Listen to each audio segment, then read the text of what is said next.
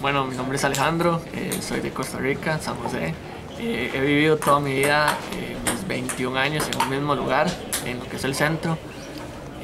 Ahorita estoy estudiando diseño, estoy a punto de graduarme.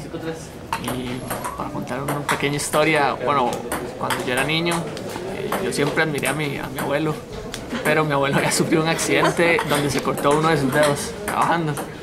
Entonces yo siempre llegaba a, a donde estaba mi abuelo y ponía a hacerme lo que él había hecho para cortarme un- un dedo para parecerme a mi abuelo. Entonces, siempre mi- mi- mis abuelos me daban las herramientas y todo eso, pero me las daban obviamente sin filo para, para no cortarme. ¿Cuántos años tenías? Como tal vez seis años, más o menos.